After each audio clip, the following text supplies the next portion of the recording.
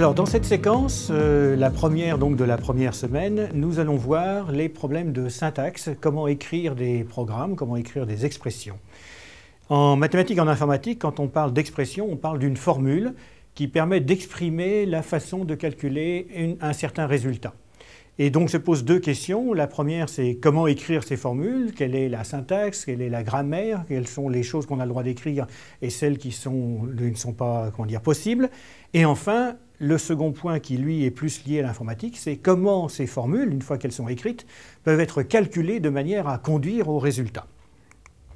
Alors l'écriture d'une expression, euh, nous sommes comment dire, dans une langue qui est très proche des mathématiques, et si je prends le petit polynôme qui a été écrit là, 3x2 plus 2x plus 4, je voudrais vous montrer en fait que la langue mathématique est particulièrement euh, comment dire, euh, ambiguë et chose que l'on ne peut pas supporter en informatique.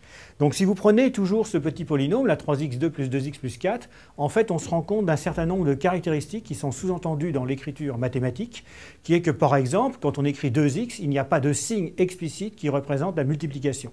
La multiplication est simplement le fait qu'on a mis 2 devant x et que manifestement on veut avoir 2 fois x, sauf que le fois ne se prononce pas et qu'il n'est même pas mentionné. Le second point est que l'écriture mathématique est une écriture à deux dimensions. Vous voyez que notamment on écrit x2 donc avec un exposant et euh, cet exposant représente donc le carré de, x. Enfin, un dernier point aussi, c'est que quand on dit 3x2 plus 2x plus 4, l'ordre de priorité des opérateurs, notamment le, le plus l'addition par rapport à la multiplication, fait que on entend que c'est 3x2 le tout plus 2x le tout plus 4 et non pas, euh, par exemple, pour 2x plus 4, deux fois x plus 4. Et donc la, priorité des opérateurs est sous-entendue, sachant que la multiplication, d'une certaine manière, est plus attractive que l'addition, et donc elle capture le 2 fois x, euh, comment dire, le 2 capture le x, et le tout, en fait, est additionné à 4. Si on devait mettre toutes les parenthèses en écriture mathématique, on aurait quelque chose qui ressemble à ce qui se trouve en bas, à savoir, parenthèse, 3 fois x au carré, et x au carré est lui-même mis entre parenthèses, et donc on a deux parenthèses qui se terminent pour 3x2. Le tout plus, puisque plus est un opérateur binaire qui prend deux membres pour les additionner, donc on rouvre une seconde parenthèse pour dire que là maintenant on a encore une addition qui est l'addition de 2x avec 4, et 2x lui-même est mis entre parenthèses pour dire qu'il y a une multiplication entre 2 et x. Donc tout ça, en fait, conduit à une écriture assez lourde, et c'est pourquoi, effectivement, depuis des, siècles, les mathématiques ont cherché à euh, améliorer la compacité des formules, et qu'on a laissé tomber toutes ces parenthèses au profit de conventions que l'addition est moins attractive que la multiplication, par exemple. Alors, on pourrait aussi prendre une autre graphie particulière, qui serait la graphie des arbres, où là, on voit qu'on a un arbre dont la racine se trouve en haut, d'une addition avec un, arbre à gauche qui est la multiplication d'un petit arbre à gauche qui est 3 et un petit arbre à droite qui est la puissance de x et de 2, etc. etc. Sauf que cette écriture est particulièrement longue à écrire et donc n'a pas été favorisée par l'évolution naturelle de l'écriture mathématique. Alors la syntaxe euh, mathématique a aussi un certain nombre d'ambiguïtés.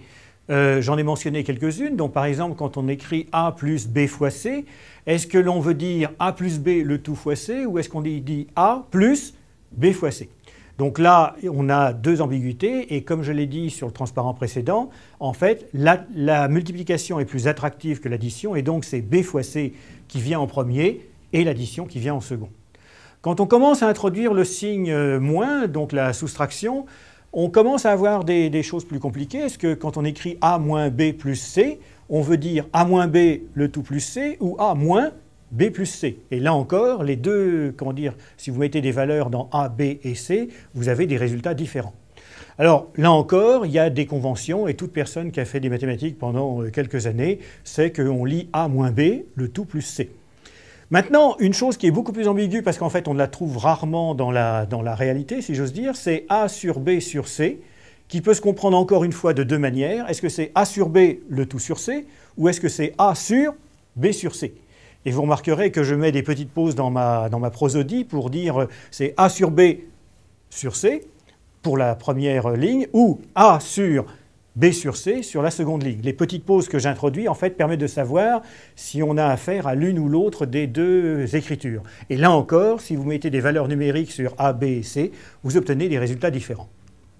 Donc tout ça veut dire qu'il y a pas mal de façons d'écrire en maths et qu'elles sont ambiguës et que donc pour ensuite être capable d'instruire un ordinateur eh bien, et donc d'écrire des programmes, vous devez en fait absolument bannir toute cette ambiguïté. Alors, regardons les différents choix qui, s'offrent à nous dans les écritures donc linéaires. Linéaire, ça veut dire sur une seule ligne, puisqu'on n'a pas le droit à deux dimensions. Vous avez un unique clavier, et un unique clavier peut être vu en fait comme une suite de caractères qu'on tape les uns derrière les autres et qui représente un unique, une ligne simplement de caractères. Donc, on a les possibilités de faire des choses préfixes, où l'opérateur préfixe et se trouve précédant les opérandes. Et donc, par exemple, un opérateur OP avec deux opérandes A et B s'écrirait d'abord l'opérateur suivi des deux opérandes. Donc, par exemple, quand vous écrivez log de E, ici c'est un opérateur unaire et non binaire, log préfixe l'expression E qui se trouve derrière. On peut aussi utiliser une opération, une écriture infixe, qui consiste à mettre l'opérateur au milieu des deux opérandes. Quand vous écrivez x plus 3 par exemple, vous mettez l'opérateur plus au milieu de ces deux opérandes qui sont x et 3. Euh, si vous prenez A flèche B, la flèche qui représente l'ensemble des fonctions de A vers B, en fait, est encore une fois un opérateur binaire qui se situe entre les deux. Enfin, il y a une troisième type d'écriture qui sont les écritures suffixes, où là, l'opérateur suit les opérandes. Et donc, on écrirait pour un opérateur binaire l'opérande A, l'opérande B et le nom de l'opérateur derrière. Des exemples, ils sont là aussi unaires. Vous avez f', qui veut dire la dérivée de f. Donc le prime s'intéresse à la chose qui se trouve avant lui. Et puis vous avez par exemple factoriel de n, qui a l'intérêt de dire, on dit factoriel de n, c'est-à-dire qu'on le prononce de manière préfixe, alors qu'en fait on écrit n, point d'exclamation, et qu'on l'écrit de manière suffixe. Tout ça pour montrer effectivement que tout ça est bien, bien divers dans les graphies mathématiques. Donc notre problème est que nous devons écrire des choses qui sont absolument non ambiguës. Alors il y a un mathématicien polonais, Lukasiewicz, qui il y a plus d'un siècle a essayé de fabriquer une langue mathématique qui ne soit pas ambiguë et qui est arrivé à un certain nombre de résultats, et notamment que si on a des opérateurs dont on connaît l'arité, alors on peut toujours retrouver l'expression à partir des notations préfixes ou postfixes, mais pas infixes. Et donc par exemple, quand on écrit en, ce qu'on appelle la polonaise postfixée, 3, 2 plus 5 étoiles. Et là, les gens reconnaîtront des choses qui ressemblent aux anciennes calculatrices postfixées HP, euh, par exemple, à l'époque. Euh, c'est égal à quoi ce 3, 2 plus 5 étoiles? Donc on met maintenant les opérateurs après les opérandes.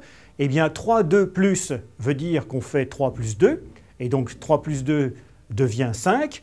L'expression donc se réécrit en 5, 5 étoiles, c'est-à-dire la multiplication de 5 et de 5, et donc ça donne 25.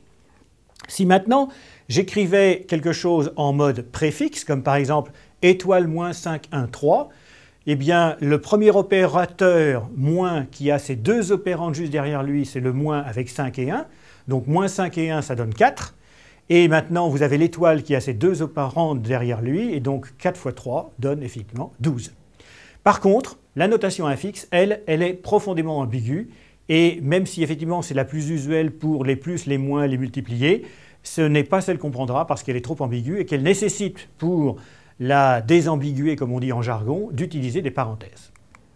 Alors, les expressions en Scheme, et Scheme va être le langage de programmation qu'on va utiliser, c'est un langage assez simple euh, avec une syntaxe extrêmement, comment dire, euh, rudimentaire.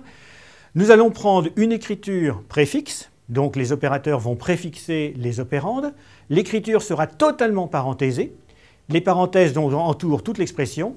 Et les séparateurs entre les différents termes, donc les opérateurs, les opérandes entre eux, ce sont les espaces ou les retours à la ligne. Donc supposons par exemple maintenant que nous ayons 6 sur 2 plus 5 fois 6. Eh bien ceci en scheme s'écrira tout, tout bêtement. Nous avons 1, une addition, donc ouvrante, parenthèse ouvrante, et nous avons la parenthèse fermante à l'autre bout plus, car c'est l'opération qu'on veut opérer, qu'on veut comment dire, effectuer sur les deux opérandes. Ensuite, seconde parenthèse, diviser 6, 2, qui sont les deux opérandes 6 et 2 de la division. Et puis, second membre, euh, qui est la multiplication de 5 et de 6, donc parenthèse ouvrante, étoile, blanc, 5, blanc, 6, parenthèse fermante. Et donc le tout donne cette expression totalement parenthésée et non ambiguë, où on voit bien qu'il s'agit d'une addition entre un quotient et une multiplication. Alors, un autre exemple, 6 sur 2 plus 5 fois 6 multiplié par la valeur absolue de moins 2, eh bien ça va donner un peu quelque chose qui ressemble. Donc c'est une addition dont le premier terme est ouvrant divisé 6 2 fermente, c'est le premier euh, opérande. Et le second opérande, vous voyez qu'il s'agit d'une multiplication de 5 par 6 et par la valeur absolue de 2. Comme l'expression est totalement parenthésée, on peut mettre le nombre d'opérandes souhaités.